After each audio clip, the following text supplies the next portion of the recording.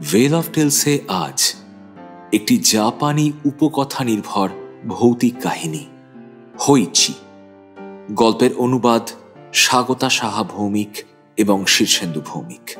গল্পের পরিচালনা প্রোডাকশন ও sound design আমি শীর্ষেন্দু ভৌমিক। সহ পরিচালনা এবং সহযোগিতায় স্বাগতা সাহা ভৌমিক। গল্পের পোস্টার ডিজাইন সৌম্যদীপ গুঁই। শুনতে থাকুন আমাদের আজকের কাহিনী হইচি।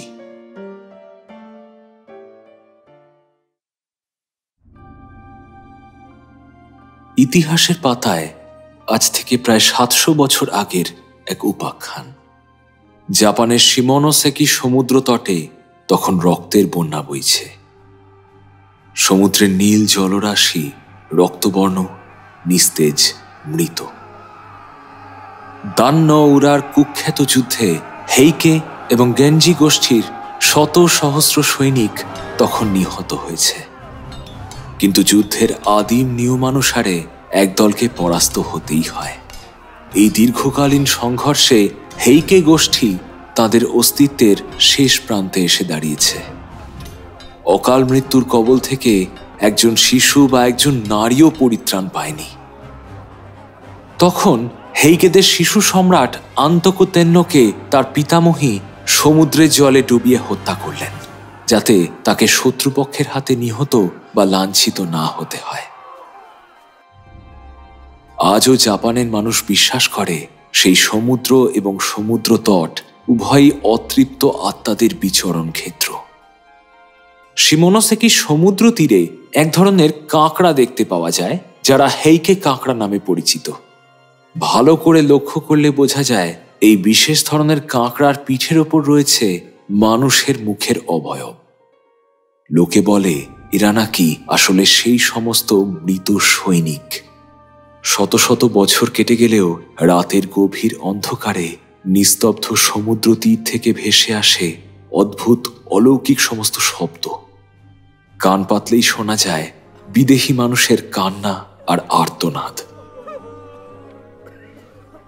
অমাবস্যার আধার ঘন রাত্রির মাঝে সমুদ্র তটে ঘুরে বেড়ায় অজস্র আগুনের ছায়া মূর্তি এমনকি ঢেউয়ের উপরিতলে ভেসে ওঠে অতিলৌকিক কিছু আলোক বিন্দু স্থানীয় মাঝি মাল্লাদের কাছে এই অলৌকিক আলোক রাশি অপরিচিত নয়। এই আলোকে ওরা বলে অনিবি অর্থাৎ শয়তানের আগুন। ঝড় উঠলেই সাগরের বিপুল জলরাশি ভেদ করে উঠে আসে যুদ্ধের আওয়াজ। শত শত তরবারি আর ঢালের ঝঙ্কারে কেঁপে ওঠে সমগ্র অঞ্চল। বিস্তীর্ণ সমুদ্রভূমি মুহূর্তে যেন অশরীরীদের মায়াক্ষেত্র হয়ে ওঠে। আসরিক ক্ষমতার অধিকারী এই অশরীরীরা বহুবার বহু জাহাজকে সাগরের গভীরে টেনে নিয়ে গেছে। সমুদ্রের জলে ডুবিয়ে হত্যা করেছে বহু সাঁতারুকে। ভয়ে যখন মানুষের জীবন মরণ নিয়ে প্রশ্ন জাগল, তখন বৌদ্ধ সন্ন্যাসীদের কল্যাণে আকামাগাসেকিতে বৌদ্ধ মন্দির আমিদাজি প্রতিষ্ঠা করা হল। মন্দির সংলগ্ন এলাকায় সমুদ্র তীরবর্তী অঞ্চলে একটি কবরস্থানও তৈরি করা হলো। সেখানে স্মৃতিসৌধ এবং প্রস্তর ফলক বসানো হল মৃতদের উদ্দেশ্যে। তারপর তার ওপর সযত্নে লেখা হল রাজপরিবারের সদস্য এবং যুদ্ধে মৃত সৈনিকদের নাম। বৌদ্ধ মন্ত্রোচ্চারণ এবং নানান পবিত্র ক্রিয়াকলাপের মাধ্যমে তাদের আত্মার শান্তি কামনা করলেন সন্ন্যাসীরা। ফলস্বরূপ অতৃপ্ত হেইকেরা অনেক শান্ত হয়ে এলো। যদিও তারা মাঝে মাঝেই জানান দিয়ে যায় যে আজও তারা সেখানেই রয়েছে। তাদের অতৃপ্ত, অস্থির আত্মা এখনও সম্পূর্ণ শান্তি পায়নি।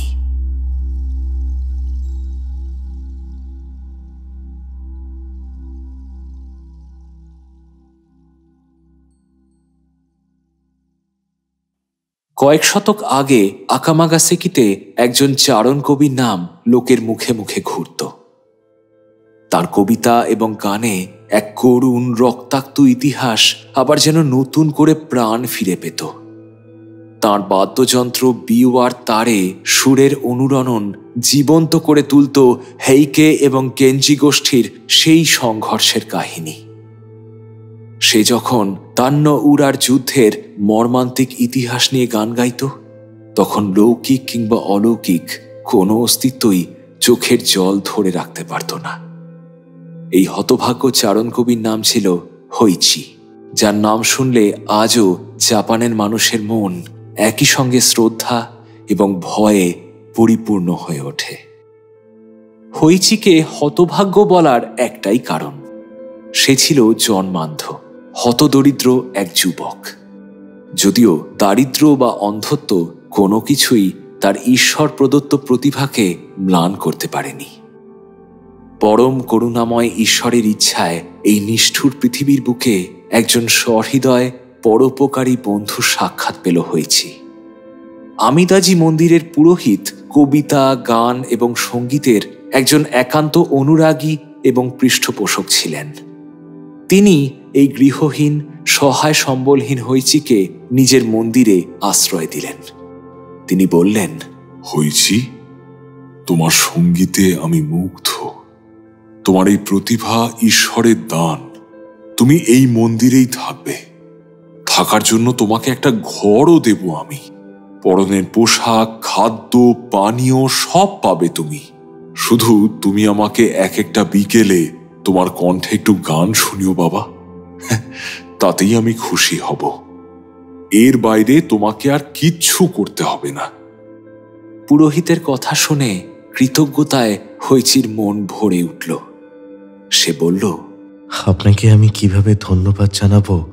আমি জানি না, গুরুদেব। আপনার এই ঋণ আমি কোনো দিনও শোধ করতে পারব না। তবে আমি আপনাকে কথা দিচ্ছি। আমি চিরকাল ঈশ্বর এবং আপনার সেবাতেই নিযুক্ত থাকব। এই প্রথম সুখ স্বাচ্ছন্দ্যের মুখ দেখল হয়েছি তার অন্ধকার পৃথিবী আলোকিত হয়ে রইল তার নিজের কবিতা এবং সঙ্গীতে। একদিন রাতে বৌদ্ধ পুরোহিতের ডাক পড়ল নগর প্রধানের বাড়ি থেকে। বৃদ্ধ নগর প্রধান বা নগর কোটালের আকস্মিক মৃত্যুতে পুরোহিতকে তার শেষকৃত্যের কাজে যেতে হবে। পুরোহিত তার সহকারীকে সঙ্গে নিয়ে বেরিয়ে পড়লেন নগর প্রধানের গৃহের উদ্দেশ্যে। কোনো উপায়ান্তর না দেখে হৈচিকে মন্দিরে একা রেখে যেতে বাধ্য হলেন তিনি। যাবার সময় বারবার বলে গেলেন, শোনো বাবা সাবধানে থেকো, ঈশ্বর তোমার মঙ্গল করুন। গ্রীষ্মের রাত। ঘরের ভেতর অসহ্য গরমে হৈচির দম বন্ধ হয়ে আসছিল। ওর ঘরের ঠিক বাইরেই একটা লম্বা টানা বারান্দা রয়েছে। সেখানে গিয়ে বসলে সামনের বাগানের ঠান্ডা হাওয়া পাওয়া যায়। হইচি তার বাদ্যযন্ত্র বিওয়াটা নিয়ে বারান্দায় এসে বসল। মনের খেয়ালে বিওয়াতে নানান সুর ভাজতে লাগল সে।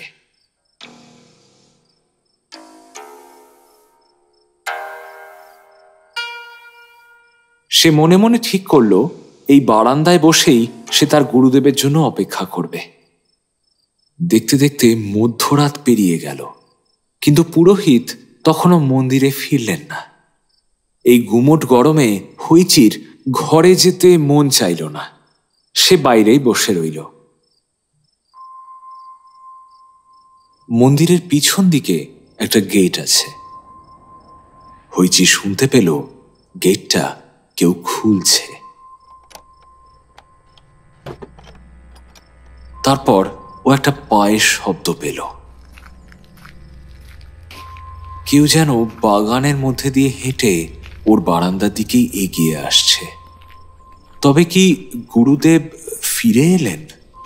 ঠিক এমন সময় একটা অচেনা গম্ভীর কণ্ঠস্বরে চমকে উঠল হয়েছি হয়েছে না এ তো গুরুদেবের গলা নয় বরং এই কণ্ঠস্বর ভীষণ কর্কশ তাতে বিনয়ের লেশমাত্র নেই।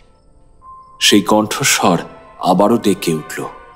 হয়েছে হইচি খানিক ঘাবড়ে গিয়ে কিছুক্ষণ চুপ করে রইল। হয়েছে? হইচি খানিক থতমত খেয়ে বলল হ্যাঁ? আগে আগে আমি আমি একজন অন্ধ। আমি জানি না আপনি কে। আগন্তুকের গলার স্বর একটু নরম হলো। সে বলল আহা ভয় পাওয়ার কিছু নেই হে। আমি তোমার জন্য একটা সংবাদ এনেছি। আমার প্রভু, অতি উচ্চমানের একজন মানুষ। তিনি বর্তমানে আকামাগা সেকিতেই রয়েছে তার সাথে রয়েছেন আরও অনেক গণ্যমান্য ব্যক্তিরা। তিনি আজ দান্নাউড়ার যুদ্ধক্ষেত্র দেখতে গেছিলেন। সেখানে গিয়ে তিনি ভীষণই আবেগপ্রবণ হয়ে যান এবং এইখানকার মানুষের কাছে তোমার কথা শোনেন। তারপর থেকে তিনি অস্থির হয়ে আছেন তোমার কাছে গান শোনার জন্য।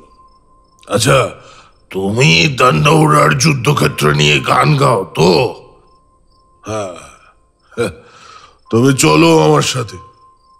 আচ্ছা সঙ্গে তোমার বিউয়াটা নিতে ভুলো না কিন্তু। হ্যাঁ প্রভুর প্রাসাদে আমি এখনই তোমায় নিয়ে যেতে চাই। এসো। আগন্তুকের আদেশ হইচি অমান্য করতে পারল না। সে ওর বিওয়াটা সঙ্গে নিয়ে পায়ে চটি গলিয়ে বেরিয়ে পড়ল। লোকটি বলল কই? হ্যাঁ চলো তাড়াতাড়ি। বেশিক্ষণ দেরি করা যাবে প্রভু অপেক্ষা করছেন। কথা শেষ করে লোকটি হইচির হাতটা চেপে ধরল। একটা বলিষ্ঠ হাত। হইচি বুঝল সেই হাতের ওপর লোহার বর্ম পড়া। হাঁটার সময়ও ও বর্মের শব্দ পেল। ও বুঝল এই ব্যক্তি একজন সামুরাই যোদ্ধা। হইচির ভয়টা এখন অনেকটাই কেটে গেছে। সে রাতের অন্ধকার ভেদ করে চলতে লাগল আগন্তুকের হাত ধরে। ওর মনে হলো এবার হয়তো ওর ভাগ্যের চাকা ঘুরবে। এত উঁচু মানের মান্যিগণ্যী মানুষের সান্নিধ্যে ওর জীবনে নিশ্চয়ই উন্নতি আসবে। হইচি যখন নিজের ভাবনায় প্রায় ডুবে গেছে, ঠিক তখনই পাশের লোকটি একটা জায়গায় এসে থামল। হইচি বুঝল ওরা একটা মস্ত বড় গেটের সামনে এসে দাঁড়িয়েছে। যদিও ও মনে করতে পারল না, এই অঞ্চলে একমাত্র আমিদাজি মন্দির ছাড়া এত বড় গেট আর কোথায় আছে। লোকটি এবার গলা ছেড়ে ডেকে বলল, খাইমো, গেটটা খোলো। দেখো, আমি হইচিকে নিয়ে এসেছি। সামুরায়ের কণ্ঠস্বর শোনা মাত্রই হইচি বোঝার চেষ্টা করল কেউ ওদেরকে ভেতরে নিয়ে যাওয়ার জন্য আসছে কিনা। এবার ও শুনতে পেল একটু দূর থেকে যেন একটা ছোট গেট খোলার শব্দ ভেসে এলো। তারপর শোনা গেল বেশ কিছু পায়ের শব্দ আর মহিলাদের কণ্ঠস্বর। সমস্ত শব্দ ওদের দিকেই এগিয়ে আসছে। মহিলাদের কথাবার্তা কানে আসতেই হইচি বুঝল এরা ভৃত্যস্থানীয় মানুষ। ধনী মানুষের বাড়িতে এরকম কত ভৃত্য থাকে? হইচি কল্পনা করার চেষ্টা করল চারপাশটা কেমন। এমন সময় আচমকাই একজন মহিলা এগিয়ে এসে ওর হাত ধরে বললেন হয়েছি সান, তুমি আমার সাথে এসো। আর আর তোমার জুতোটা, এই এই, এইখানটা খোলো। হ্যাঁ এইখানটা। পায়ের চটি খুলে রেখে পাথরের সিঁড়ি বেয়ে ওপরে উঠে এলো হইচি। সে অনুভব করল তার পায়ের তলায় মসৃণ কাঠের মেঝে। একটা অজানা অনুভূতিতে শিউরে উঠল হইচি। কি জানি বাবা কত বড় প্রাসাদেও প্রবেশ করেছে। ও বুঝতে পারল অনেক মানুষ সেখানে একত্রে জড়ো হয়েছে। তাদের চাপা কণ্ঠস্বর ও শুনতে পাচ্ছে। পাতলা দামি সিল্কের পর্দা যেন মৃদু বাতাসে দুলছে। হঠাৎ শুনলে মনে হয় শুকনো পাতার শব্দ। ঘরে উপস্থিত লোকজনের কথা বলার ভঙ্গিমা শুনলেই বোঝা যায় তারা উচ্চবংশীয় এবং ধনী। ভদ্রমহিলা একটা জায়গায় হইচিকে বসতে বললেন। তিনি বললেন, দেখো, তোমার জন্য কি সুন্দর বসার বেদি প্রস্তুত করে রেখেছি আমরা। তুমি এইখানটা বসো। বসো? হইচি মনে মনে ভাবল ইনি নিশ্চয়ই এখানকার খাস পরিচারিকা। তার কণ্ঠে ব্যক্তিত্বের ছাপ স্পষ্ট। হইচিকে বসিয়ে তিনি বললেন এবার তুমি শুরু করো তোমার কবিতা গান। হেইকিদের জীবন ইতিহাস এসব নিয়ে গান শোনাও সকলকে। সাথে বাজাও তোমার বিউয়া সকলে যে তোমার গান শোনার জন্য অপেক্ষা করছেন শুরু করো। এক রাতের মধ্যে এতখানি কাহিনী কখনোই উপস্থাপনা করা সম্ভব নয়। তাই হইছি মাথা নত করে বিনীত কণ্ঠে জিজ্ঞেস করল আচ্ছা আচ্ছা ভদ্র মহোদয়গণ এই কাহিনী অতি দীর্ঘ। এবং এক রাতে এই আবৃত্তি করা অসম্ভব। তাই তাই আপনারা যদি অনুগ্রহ করে আমাকে বলেন যে কবিতার কোন বিশেষ অংশটি আপনারা শুনতে চান তাহলে সত্যিই বড় বাধিত হই। ভদ্রমহিলা বললেন হুম বেশ। তাহলে তাহলে তুমি দান্নউরা যুদ্ধের কাহিনী বর্ণনা করো। কারণ কবিতার সেই অংশই সবচেয়ে বেশি করুণ। আর সবচেয়ে বেশি কষ্টের। নাও, আর দেরি করো না। শুরু করো। শুরু করো তোমার গান।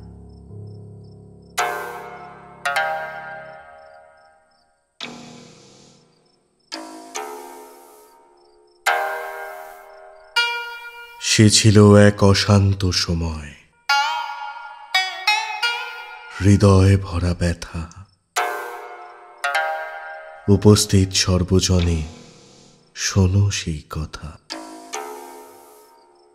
পবিত্র এক সমুদ্র তটে উঠল যবে তুফান, বেজে উঠল রণতুর্য, শহর হলো শ্মশান।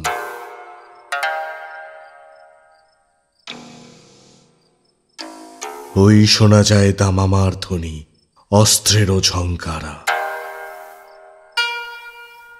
রক্তাক্ত সেই ইতিহাস লেখে দান্নৌরা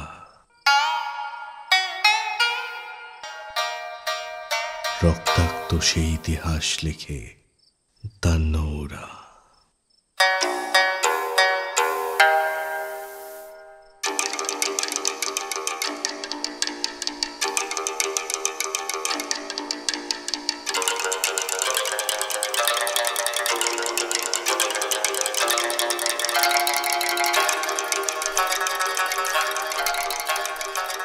হৈচির মধুর কণ্ঠে জেগে উঠল এক তিক্ত, রক্তাক্ত যুদ্ধের ইতিহাস। মুহূর্তেই চারপাশে সকলে মন্ত্রমুগ্ধের মতো স্থির হয়ে তা অনুভব করতে লাগলেন। বিওয়ার করুণ ঝঙ্কারে ভেসে গেল সহস্র দাঁত টানার ধ্বনি, শোনা গেল জাহাজের শব্দ, উন্মুক্ত বাতাসে ছুটে গেল অগন্তি তীর, ঢাল তরোয়ালের তীক্ষ্ণ অনুকম্পনে চতুর্পাশ কেঁপে উঠল। ছিন্ন মস্তকের রক্তে ভেসে যেতে লাগল চারপাশ। এ কোন প্রাসাদ? এ যেন সেই আদিম অভিশপ্ত সমুদ্র তট যেখানে নিশ্চিহ্ন হয়ে গিয়েছিল হেইকেরা। হইচি বিভোর হয়ে যখন বিওয়া বাজিয়ে চলেছে, তখন ও একবার শুনতে পেল পাশ থেকে কয়েকজন চাপা স্বরে বলা বলি করছেন, এমন শিল্পী নাকি তারা আর কখনো দেখেননি। সমগ্র রাজবংশ খুঁজলেও নাকি হৈচির মতো প্রতিভাবান গায়ক আর খুঁজে পাওয়া যাবে না।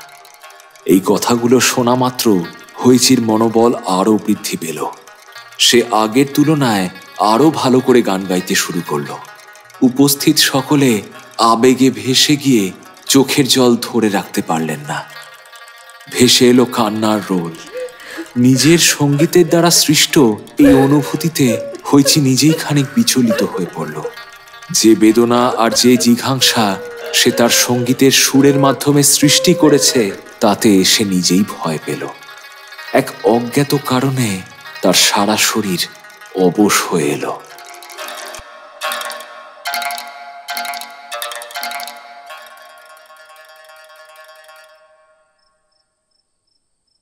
গান শেষ হবার কিছুক্ষণ পর ধীরে ধীরে শ্রোতারা শান্ত হয়ে এলেন। কান্নার শব্দ মুছে গেল ঘর থেকে। আবার সেই ভদ্রমহিলার কণ্ঠস্বর শুনতে পেল হইছি তিনি বললেন, বাহ বাহ, চমৎকার চমৎকার, কি কণ্ঠ তোমার, কি বাজনা। তোমার আবৃত্তি আর বাজনায় আমরা সত্যি অভিভূত। আমাদের প্রভু ইচ্ছা প্রকাশ করেছেন। আগামী ছয় রাত তুমি এখানে এসে আমাদের গান শোনাবে। তারপর আমাদের প্রভু তোমাকে পুরস্কৃত করবেন। আর শোনো, আগামীকাল রাতে তোমাকে আবারও এখানে নিয়ে আসা হবে হয়েছি তবে হ্যাঁ একটা কথা। তুমি যে এখানে এসেছ বা আবারও আসবে তা কখনো কারোর কাছে বলবে না। কেমন? আমাদের প্রভু এখানে মাত্র কয়েকদিনের জন্য এসেছেন। তারপরেই আমরা আবার সকলে ফিরে যাব। তাই এই ব্যাপারটা খুবই গোপন। বুঝলে তো? তাই তুমি ভুলেও আজকের কথা কাউকে বলবে না। কাউকে না। মনে থাকবে তো? হুম? হইচি মাথা নেড়ে সম্মতি জানিয়ে বলল আপনাদের আমার গান শোনাতে পেরেছি। এই আমার পরম সৌভাগ্য।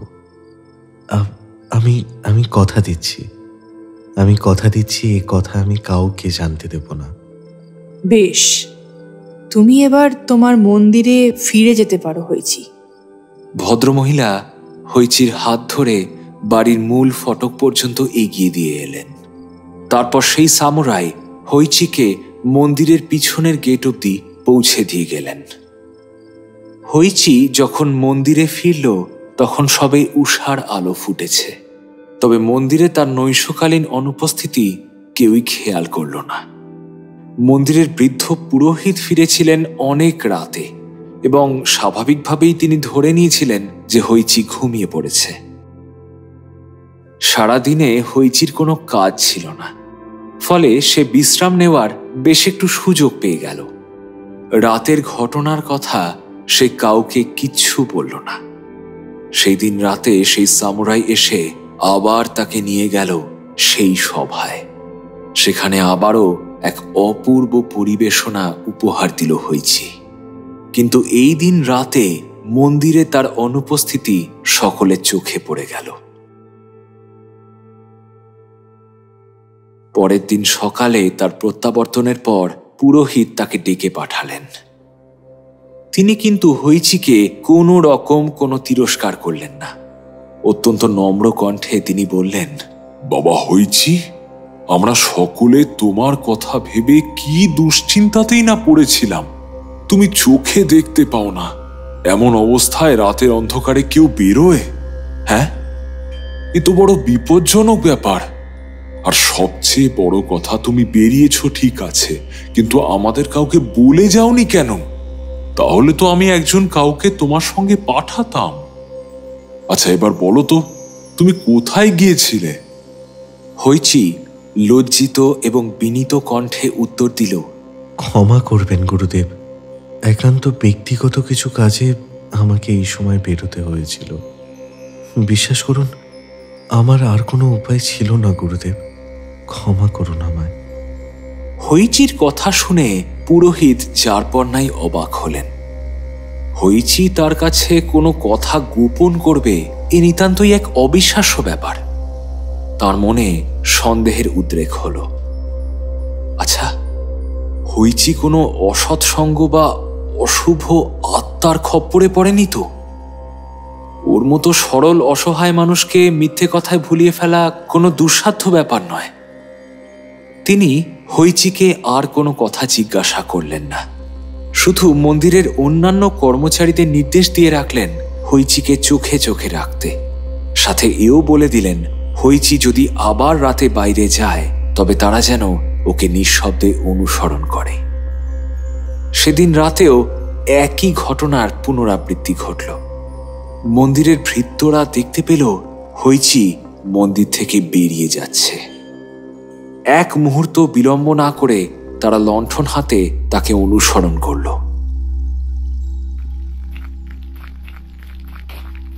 আজকের রাতটা গত রাতের তুলনায় অনেক বেশি অন্ধকার। আকাশে ঘন মেঘ, ঝিরঝির করে বৃষ্টি আরম্ভ হয়েছে। মন্দির থেকে বেরিয়ে বড় রাস্তা অবধি হেঁটে এসে ওরা কেউ আর হইচিকে দেখতে পেল না।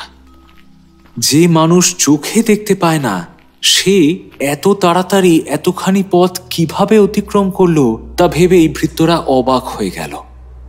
বৃষ্টিতে পথের অবস্থাও তথই বছ। ওরা আশেপাশে সব জায়গায় হইচিকে খুঁজতে আরম্ভ করল। প্রতিবেশী বাড়িগুলোতেও ওরা খোঁজ নিল, কিন্তু সকলেই জানালেন তারা কেউ হইচিকে দেখেননি বা হইচি তাদের বাড়িতে আসেনি। আর কোনো উপায় না দেখে ওরা মন্দিরে ফেরার পথ ধরল। ঠিক এমন সময় একটা শব্দ পেয়ে ওরা চমকে উঠল। এই শব্দ চিনতে কারোর একটুও অসুবিধে হলো না। এ তো এ তো হইচির বিওয়ার সুর। বৃষ্টির ঝমঝম আওয়াজ ছিন্ন করে ভেসে আসছে সেই সুর। থমকে দাঁড়িয়ে পড়ল ওরা। সেই সুর অনুসরণ করে এরপর ওরা যেখানে পৌঁছল, তা হলো আমিতাজির কবরস্থান।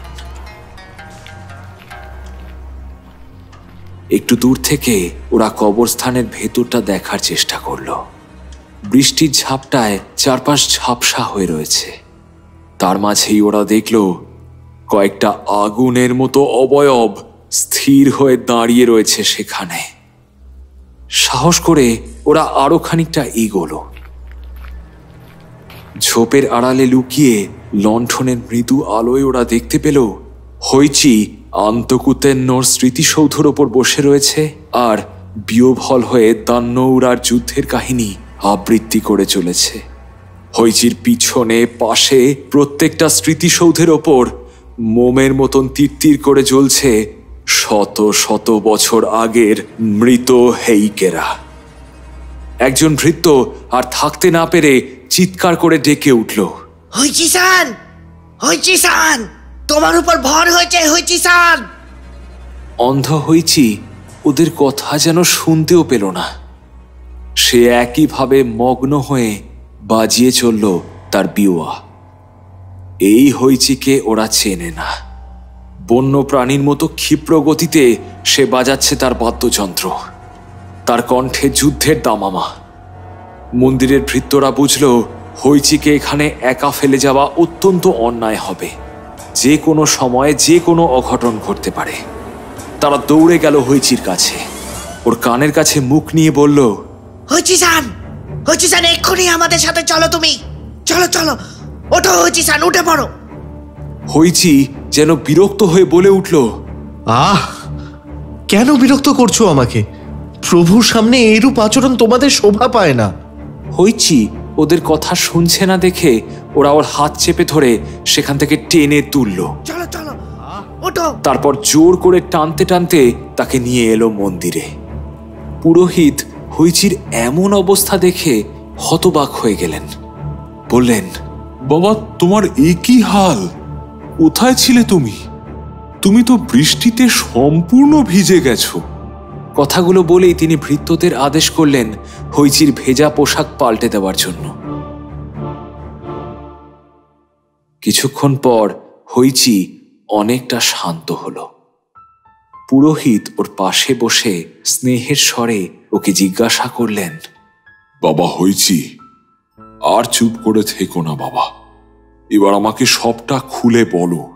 তুমি কোথায় যাও, কেন যাও, তার সবটা আমাকে বলো। হইচি কি করবে বুঝতে পারল না। সে কেবলই দোনামনা করতে লাগল। এমন মানসিক টানাপোড়েন সে আগে কোনোদিন বোধ করেনি। কিন্তু তার এমন ব্যবহারে পুরোহিত এবার অত্যন্ত অসন্তুষ্ট হলেন। তিনি রুষ্ট হয়ে বললেন, ছি হয়েছি ছি। তোমার থেকে এমন ব্যবহার আমি কোনোদিন আশা করিনি। আমি ভেবেছিলাম তুমি আমাকে তোমার বন্ধু বলে মনে করো। এখন দেখছি আমার ধারণা মিথ্যা।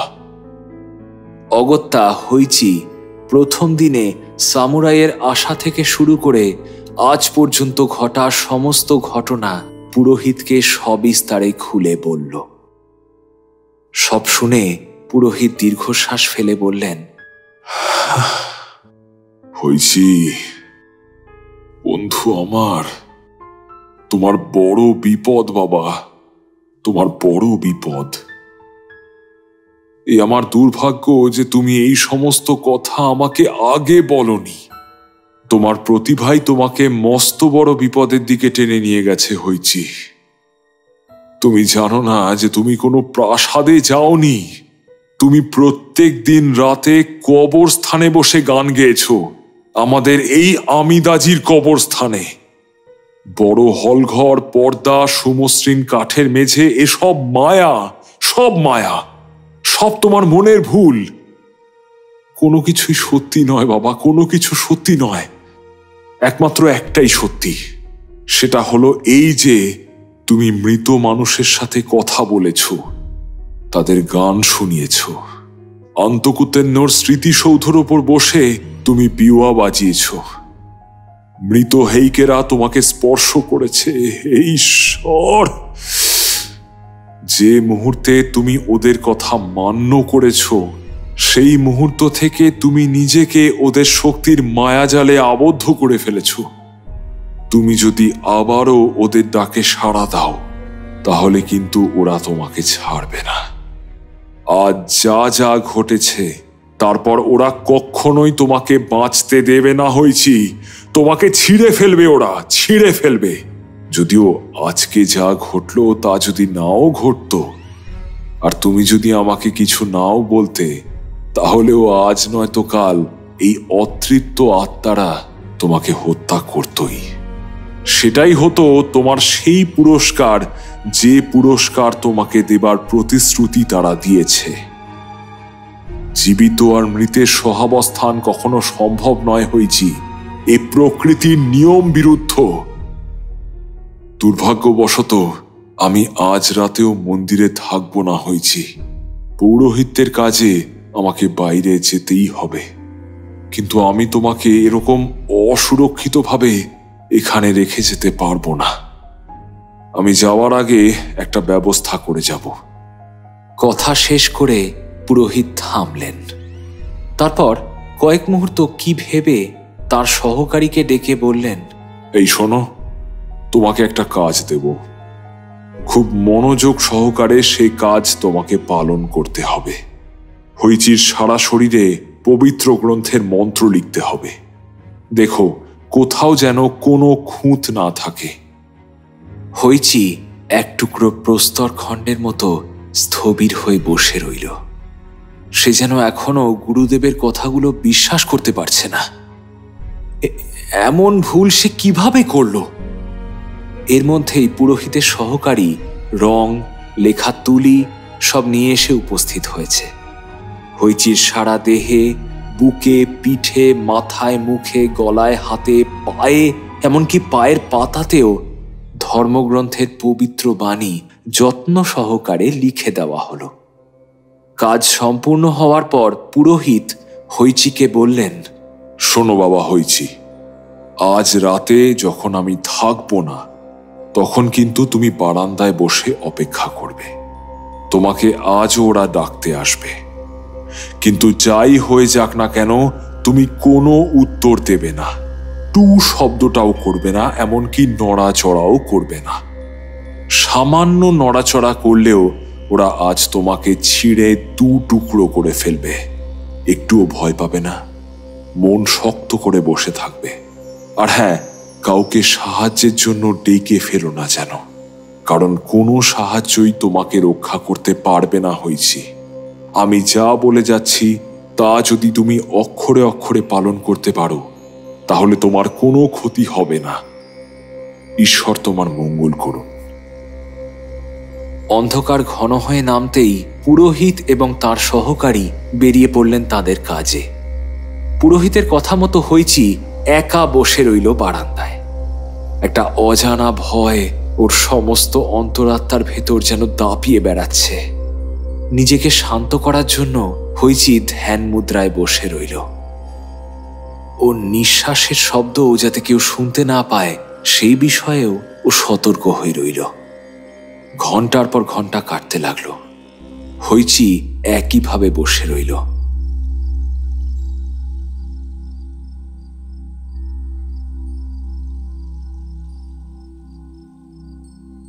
তখন মধ্যরাত অতিক্রান্ত। পিছনের রাস্তায় পায়ের শব্দ শোনা গেল। আজ এক নয়। একাধিক পদধ্বনি যেন বাগানের মধ্যে দিয়ে হেঁটে এগিয়ে আসছে বারান্দার দিকে। বারান্দার সামনে এসে ওরা থামল। শোনা গেল সামুরাইয়ের সেই গম্ভীর কণ্ঠস্বর। হয়েছি অন্ধ হইচি শ্বাস বন্ধ করে নিশ্চুপ হয়ে বসে রইল। দ্বিতীয়বার আবারও শোনা গেল সেই ডাক। হয়েছে তারপর তৃতীয়বার সেই কণ্ঠস্বর হয়ে উঠল গগন ভেদি। হয়েছে তবুও হইচি পাথরের মূর্তির মতো স্থির হয়ে রইল। সে জানে এক চুল নড়লে তার মৃত্যু নিশ্চিত। কোনো উত্তর না পেয়ে এবার সেই কণ্ঠস্বর বলে উঠল কোনো উত্তর নেই কেন? কোথায় গেল ছেলেটা? না এভাবে হবে না দেখছি। একটা ভারী পায়ের শব্দ উঠে এলো বারান্দার ওপর হইচির হৃদকম্পন লোকটা শুনতে পেল কি? হইচি যেখানে বসে আছে, ঠিক সেখানেই এসে থামল লোকটা। তারপর বিড়বিড় করে বলল, এই তো এই তো সেই বিবাহ। কিন্তু কিন্তু সেই বিবাহবাদক হৈসিকে তো কোথাও দেখতে পাচ্ছি না। আমি তো হাওয়ায় ভাসমান। দুটো মানুষের কান দেখতে পাচ্ছি শুধু। আচ্ছা এইবার বুঝলাম। এইবার বুঝলাম ও কেন সাড়া দিচ্ছে না। বেটা, তো মুখই নেই। তো সাড়া দেবে কি করে? শুধুমাত্র কান দুটো ছাড়া ওর শরীরের আর কিছুই অবশিষ্ট নেই দেখতে পাচ্ছি। তবে তাতে কিছু এসে যায়। এই কান দুটোই বরং আমি আমার প্রভুর কাছে নিয়ে যাব। তবেই আমার প্রভু জানবেন যে আমি তার আদেশ সাধ্য মতোই পালন করেছি। মুহূর্তেই হইচি টের পেল কতগুলো লৌহ কঠিন আঙুল তার দুটো কান শক্ত করে চেপে ধরেছে। আর হইচি ভালো করে কিছু বুঝে ওঠার আগেই সেই হাত দুটো তার কান দুটো ছিঁড়ে নিল মাথার দুপাশ থেকে। প্রবল যন্ত্রণায় হইচি ছটফট করে উঠল। কিন্তু তবুও বৃদ্ধ পুরোহিতের কথা স্মরণে রেখে সে টু শব্দও করল না। অশরীরী সামুরাইয়ের পায়ের শব্দ বারান্দা দিয়ে নেমে রাস্তার দিকে ক্রমশ মিলিয়ে গেল। হইচির কানের পাশ থেকে ফিনকি দিয়ে গলগল করে রক্ত ঝরছে। সেই প্রাণান্তকর যন্ত্রণা সহ্য করতে না পেরেও সে একটুও নড়ল না। একইভাবে সেখানে বসে রইল। সূর্যোদয়ের আগেই পুরোহিত মন্দিরে ফিরে এলেন। ফিরেই এক মুহূর্ত বিলম্ব না করে তিনি ছুটে গেলেন বারান্দায়।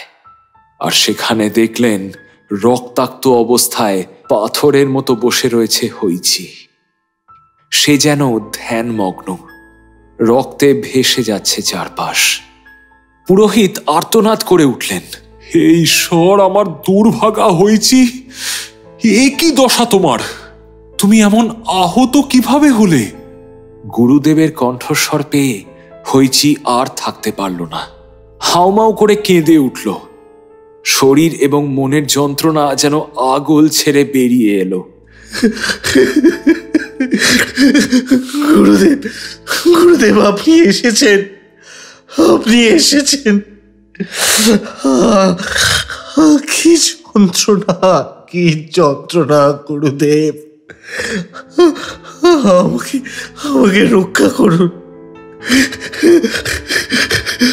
আমাকে রক্ষা করুন, গুরুদেব।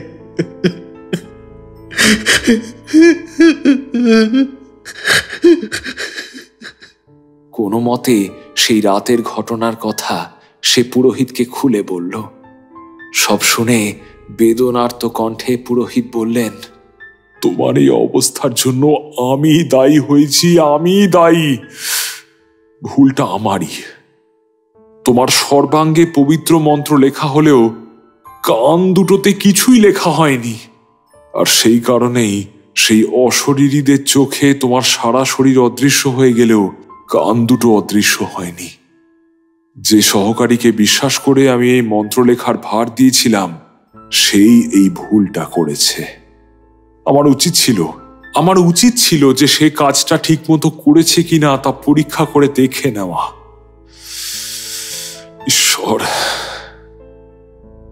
যাই হোক, আর তো কিছু করার নেই।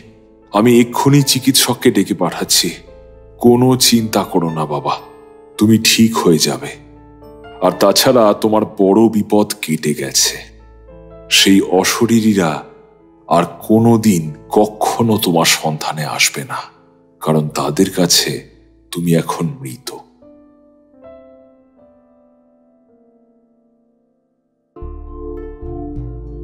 চিকিৎসকের সুচিকিৎসা এবং মন্দিরবাসীদের যত্নে হইচি ধীরে ধীরে সম্পূর্ণ সুস্থ হয়ে উঠল। তার জীবনে ঘটে যাওয়া এই আশ্চর্য কাহিনী কিংবদন্তির মতো ছড়িয়ে পড়ল দূর দূরান্তে। কানের বাইরের অংশ না থাকলেও তার কানের অন্তর্যন্ত্রের কোনো ক্ষতি হয়নি। ফলে হৈচির সংগীত জীবনে কোনো প্রতিবন্ধকতার সৃষ্টি হল না। শীঘ্রই সারা দেশে রীতিমতো বিখ্যাত হয়ে উঠল হইচি বহু দূর থেকে অনেক সঙ্গীতানুরাগী মানুষ আকামাগাসেকিতে আসতেন তার গান এবং আবৃত্তি শুনতে। খুশি হয়ে তারা প্রচুর অর্থ এবং উপঢৌকন দিতেন তাকে। এতদিনে হৈচির দারিদ্র খুঁজল। সচ্ছলতা এলো তার জীবনে। শুধু লোকমুখে তার নামটা গেল বদলে। এরপর থেকে সকলে তাকে ডাকত মিমি নাসি হইচি অর্থাৎ কান কাটা হইচি নামে।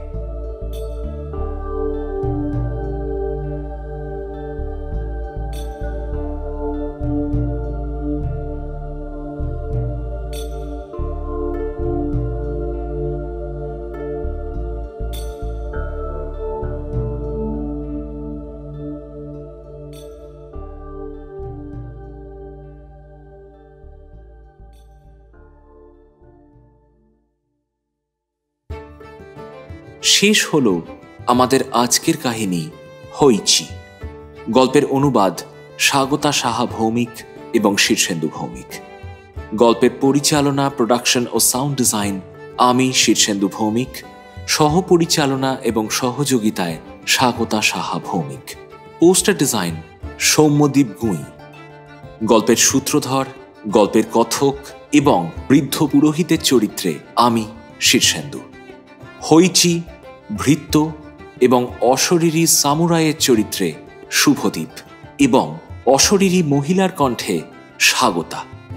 আমাদের আজকের গল্পটি যদি আপনার ভালো লেগে থাকে, তাহলে প্লিজ লাইক করুন, শেয়ার করুন।